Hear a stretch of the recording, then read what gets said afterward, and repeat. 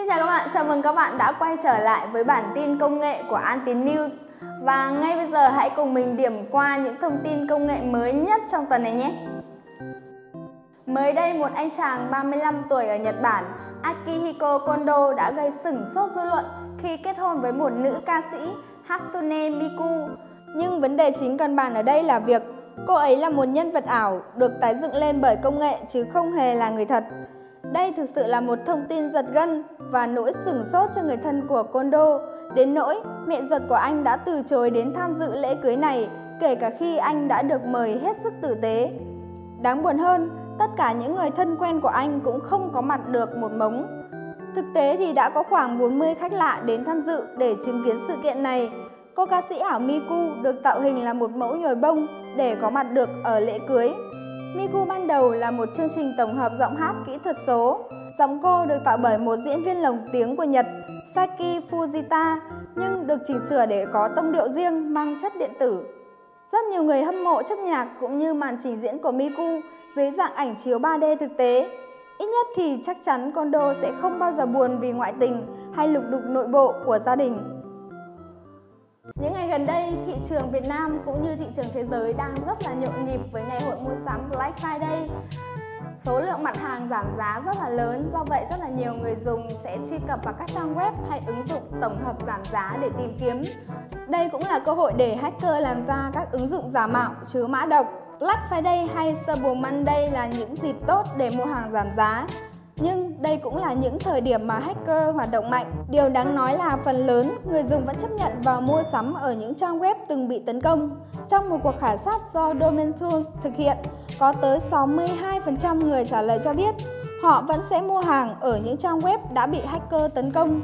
Nếu mức giảm giá đủ hấp dẫn, những kẻ tấn công có nhiều cách để lợi dụng tâm lý người dùng, sẵn sàng bỏ qua nguy cơ bảo mật để có giá tốt.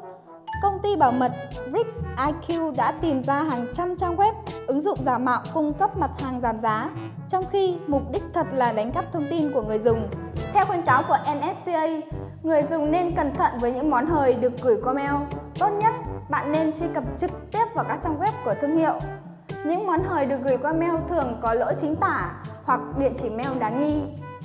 Laptop 2 trong 1 mỏng nhất thế giới đã đến Hà Nội. Tại sự kiện A Day with Dell, hãng Dell đã mang tới mẫu laptop cao cấp XPS 159575. Đây là chiếc máy tính sách tay 15 inch 2 trong 1 với độ mỏng 16mm.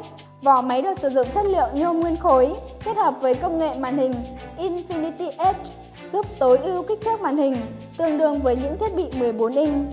Thêm vào đó, phần bản lề cũng được tích hợp thêm khả năng xoay gập 360 độ Máy tính được trang bị bộ xử lý G-Size với đồ họa Radeon RX Vega từ AMD kết hợp với chip Core i của Intel.